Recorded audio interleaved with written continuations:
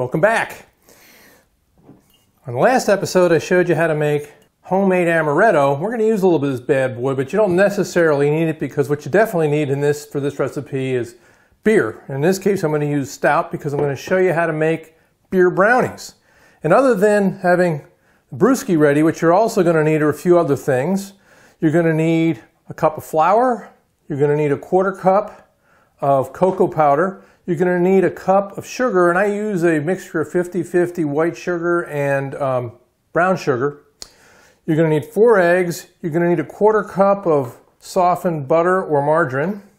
You're going to need a pinch of salt. You're going to need a little bit of vanilla. And you're also going to need some nonstick cooking spray. Along with that, you're going to need a few other things. You need a dish to put the brownies in. You need either a whisk or a uh, fork to scramble your four eggs, a measuring spoon, and two, count them, two bowls. In fact, what we're going to do is swap bowls out here because to get things started, what we're going to do first is we're going to mix all of our dry ingredients in the big bowl. So we'll take our flour, pour that into the bowl. Going to take our cocoa powder, also put that in the bowl. And then we're going to pour on the sugar, and as you can see, some of it's white, some of it's dark sugar. Then you take your spoon, or in my case,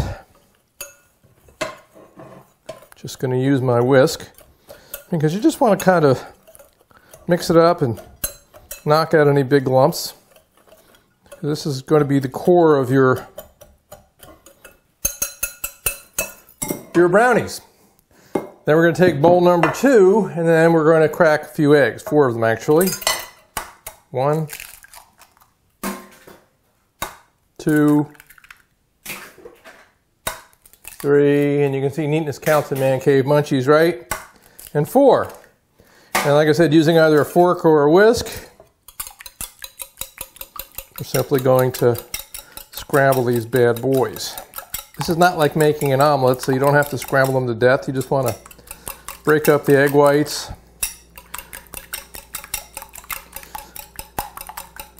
And the yolks. Okay. Then into that, we're going to take our measuring spoon and we're going to measure out one tablespoon of vanilla. You're going to pour that into the eggs. Then we're going to give that a quick little stir.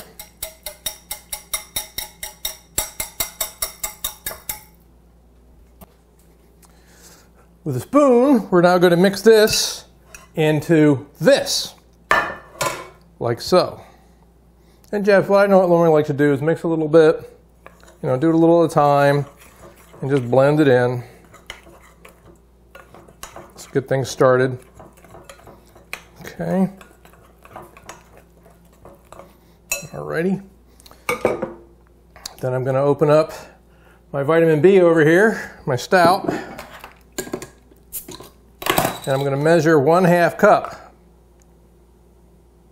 And what you want to do again is let I would what I normally do is do this at room temperature because or else you're going to get a ton of foam. I'm also going to give it a couple of tablespoons of my homemade amaretto just for flavor. There you go. And last but not least, put in your melted butter. If it doesn't want to cooperate, convince it. And then it's just a matter of stirring and stirring and stirring and stirring until you get a nice smooth batter. It'll take a couple of seconds, but not too long. Plug back on my homemade hooch.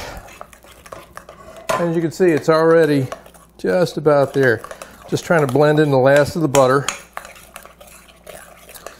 And then we're going to pour this into here. And you know, you can use in, into this, and you've got your choice. You can use a, a longer pan or you can use a shorter pan, depending on how thick you want your brownies to be. I'll tell you what, I think I got enough batter here. I think I'm going to swap it out for the longer pan. Okay. So we'll use the bigger pan because I think I got tons of batter here. And the first thing I'm going to do, take my non-stick cooking spray and give it a good shot so it doesn't get stuck.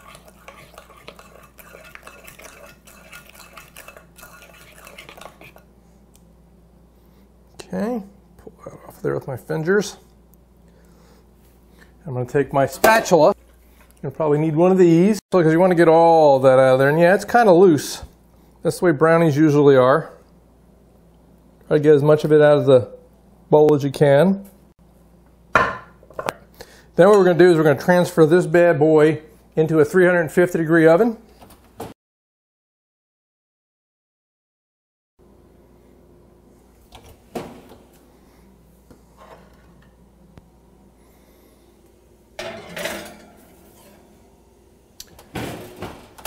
And we're going to let that bake in the oven for about 35 to 40 minutes or until you can stick a toothpick in it and have it come out clean. So stand by. So, your brownies. Tell everyone you saw them first. On Man Cave Munchies.